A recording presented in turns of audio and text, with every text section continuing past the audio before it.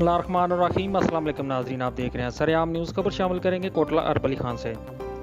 मुल्क भर की तरह यूम आज़ादी के हवाले से कोटला प्रेस क्लब की जेर तमीर अमारत में एक सादा मगर पुरवकार तकरीब का अहतमाम किया गया।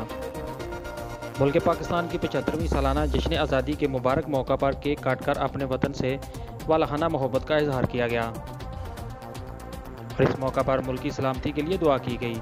सदर press club Kotla Chaudhry Faisal Gujjar, general secretary Malik Mohammad Ashraf Ahwan, नायब सदर चौधरी फयाज अंजम सेक्रेटरी इतलात नशरियात चौधरी लियाकत अली सुल्ला Raja Danish Waheed, senior member press club व सी ई ओ सरेआम न्यूज़।